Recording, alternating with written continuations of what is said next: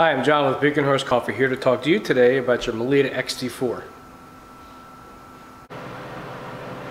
Some basic features of the XT4 include a hot water wand, one-step functionality, and fixed water and drain.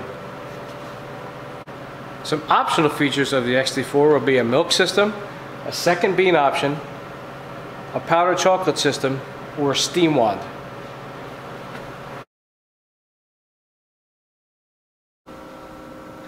Now I'm going to go over some operations of the XT4. I'm going to show you how to turn the machine on and off, how to fill the hoppers, how to empty the grinds bin, how to select a drink, and what options you have in the menu. As you can see, the machine looks like it's off. It's in standby mode. The power button is still on. And we want to make sure during normal daily operations we leave this power button on and we switch on by holding this button. Now we'll get some options and press turn on. It's going to go through a startup process and when it's ready your drink selections will be available. We're only going to use this button to switch it off if there's an emergency or if the machine's going to be off for an extended period of time. For daily use, we'll switch on by pressing and holding this and then pressing turn on and it'll go through its startup process. When you're ready to switch off the machine, it's just the opposite. You press and hold this button until your menu comes up. Press turn off and the machine's going to do its switch off process. Now this machine here is a two bean machine and it also includes powdered chocolate and milk. So I'll go through how to fill those hoppers. Very simple. That's your hopper number one for regular. Decaf hopper is in the back. You pull the top and you fill it that way. For your powdered chocolate, you open the door, cock that back, and you can fill it this way. Or you can pull this entire unit out, fill it, and then place it back in the machine so you don't spill powdered chocolate everywhere. You're finished, close it, and close your, your front. This particular XT4 is equipped with a side fridge and cup warmer combination. So how we fill the milk container on this, we open it with the key, pull the milk container out, and we fill it with the type of milk that we use. In this machine we're using whole milk. Some people like 2%, but we fill it with the same milk that we calibrate it for, place the cooler back, and lock the door. Now periodically the machine's going to ask you to empty the grinds bin. It's very simple. If this is in the way, you push this up out of the way, you open your door, you pull the grinds bin out. It's good practice to wash the grinds bin when you have it out and clean it and dry it.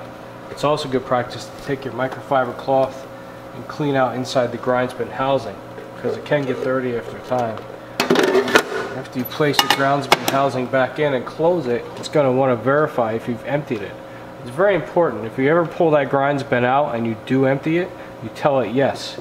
If for some reason you have to pull it out and you don't empty it, you make sure you tell it no. the XT4 makes selecting your drink very easy. It's got the one-step functionality, which means you only have to press a button. So this machine's set up with single double espresso, Americano, and some milk drinks. Cappuccino, latte, your typical. If I prefer to have, let's say, decaf, well, there's decaf options also. We can program it however. In this instance, we're going to go back to regular. And because it's a one-step, because it's pre-programmed, everything is going to be consistent every single time. All you have to do is literally press a button and your drink will complete. The XT4 has a menu that the user is able to access, and I'll show you what's in there. Same way you go into on and off, you press and hold this button here, until your other menu comes up. So we have some options here. We could turn off the machine. We could rinse the instant mixer, which is the chocolate mixer. Maybe you want to rinse that periodically through the day. If you haven't used the machine in a couple hours, maybe you want to preheat the brewing system, you could press this and it'll go through a preheat process. You have your cleaning options, which we'll go over later. Hopper fill levels. So if I fill the hoppers, I press this button Bean hopper 1 is the front, bean hopper 2 is the back, and milk is refilled. Now I haven't refilled them But if I was to refill them, I would tell the machine they're full, and I would refill the milk and tell it it's full. Instant hopper, if I have chocolate in here, I also tell the machine all containers are full. We also have a switch off milk system in case I don't feel like using milk. I can switch off the milk system. It's going to make me run through a cleaning program. Or I could switch off the instant system so I don't have to use this. That way the only options available will be coffee. But we're going to leave those two alone right now. So you're going to turn off, rinse mixer, preheat brewing system cleaning, hopper fill levels, switch off the milk and or the instant system. That's it. Go back.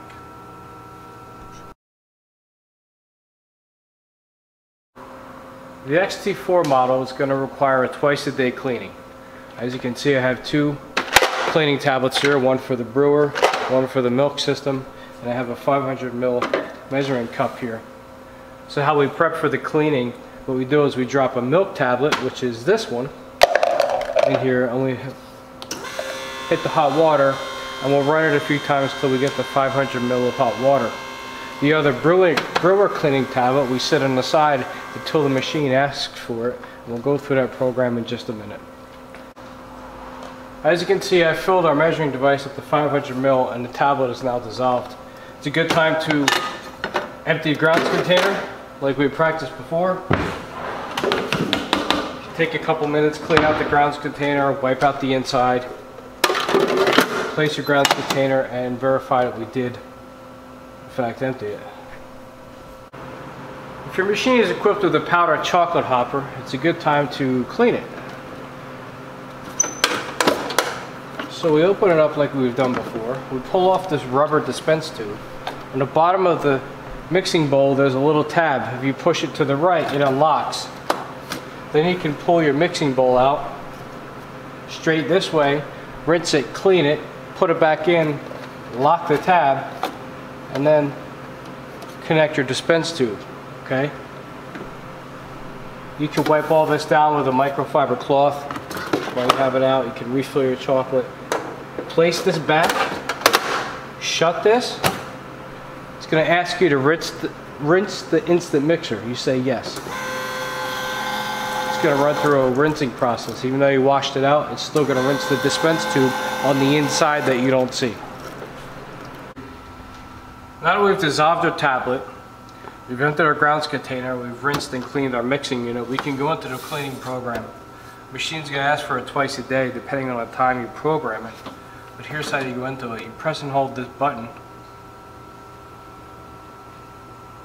and then we can go into cleaning. If it's the end of the day and you want to switch the machine off, you can choose clean and switch off. If it's the middle of the day, you can just do intermediate cleaning. It's going to ask you, is your milk system prepared? What does that mean? That means you take your dissolved tablet, and I'll show you what to do with that next. Here's what we do with our dissolved tablet. We go into the refrigerator, pull out the milk tube, and place it. You hear a machine beeping, prompting us to go through with the cleaning program. So let's go back to the machine. So now we have our milk cleaner in place. Milk cleaner prepared. The machine's going to walk us through everything. After we run the milk cleaning, it's going to ask to rinse it. And then it's going to ask for the cleaning tablet.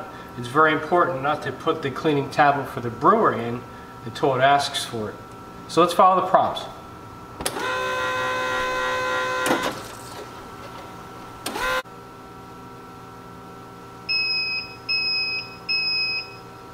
So this is the next step in the cleaning program. After it runs a cleaning tablet through, you can see it's asking us for fresh water. So we're just going to fill that pitcher, rinse it out, fill it up with water up to 500 ml, and then press OK. I've already done that, so I'm going to press OK.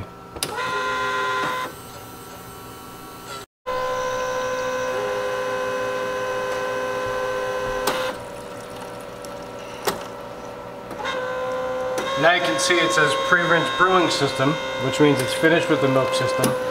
It's going into a brewer pre-rinse, and when it's ready, it's going to ask for the tablet. We'll cut to that.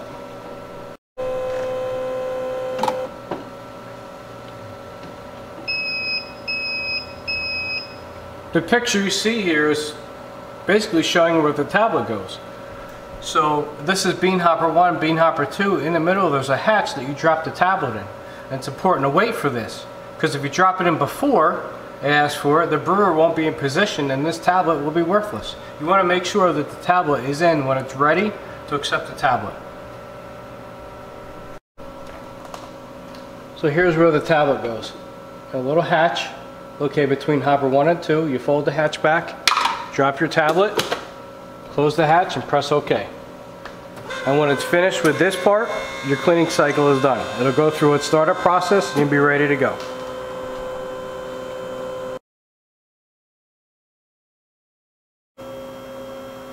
It's also good practice to pull these grills out and wipe these down and scrub them down. Wipe inside of here, wipe the face down, make sure this here is all clean. Uh, just take care of your machine like you would anything else. It's important. It's an investment.